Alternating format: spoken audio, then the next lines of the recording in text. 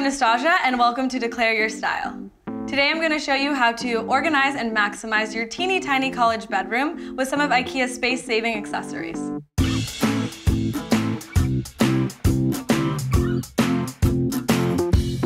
I've been vlogging for the past four years. The reason I started vlogging is to have a creative outlet. I realized that I really love decor and design and I really like making videos about it.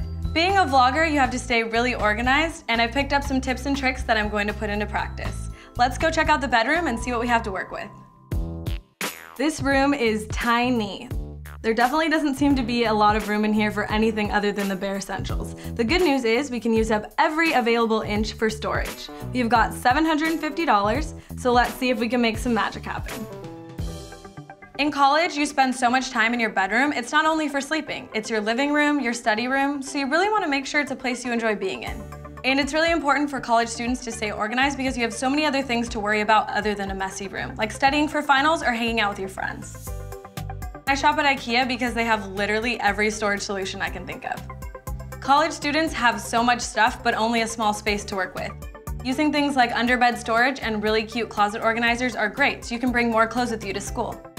Other ways you can maximize every nook and cranny of the room are using wall shelves. You can use them to store things, but you can also use them to put up really cute decor pieces. Wow, this place looks awesome. $750 really does go a long way at IKEA. We were able to find a ton of great organizational pieces at really affordable prices. I love these Samla underbed storage containers. They're great for storing extra toiletries, clothes, and even textbooks. Since they're clear, it's easy to find what's stored in them too.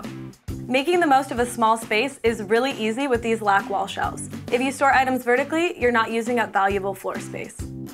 These Garnityr organizers really revamp this closet.